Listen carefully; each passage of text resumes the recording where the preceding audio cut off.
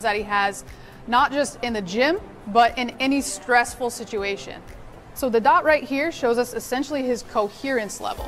What coherence means is that's a balance between, again, that sympathetic and parasympathetic nervous system. So you can see right now he's doing a pretty good job of keeping his physiology under control.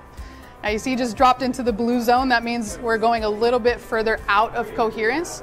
And if we get into the red zone, that means that typically folks are pretty discombobulated and we see a pretty steep decline in their mental performance.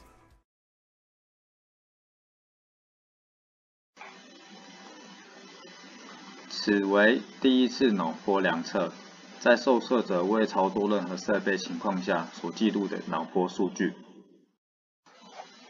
这是脑波量测的软体麦茶 P。 带上脑波设备后，我们最先检查的是电极状态。若讯号满格，则代表连接正常；若呈现红色笔直状态，则代表接触不良或是接地因素引起的。量测结束后，我们可以看右下角的表，这是专注度与放松度的值，可以看受测者在受测过程中的状态，以利后续实验分析。那这是受测人员在进行维也纳测验时的状况。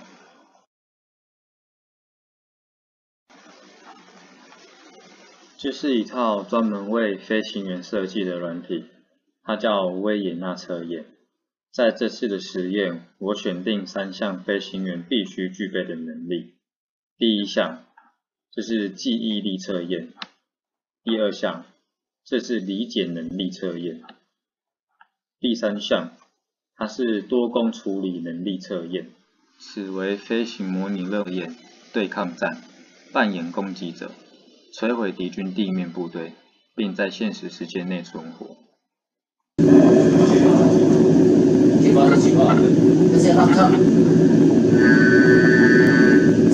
报警报声警报声，他通他通知他来了。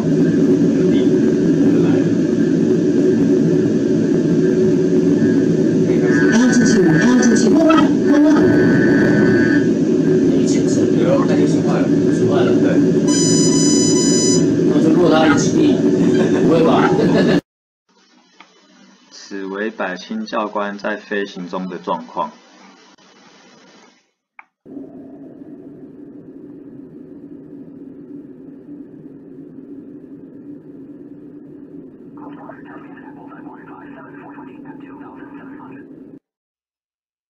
最后来到专家访谈。那在这次研究里，我们邀请到三位专家。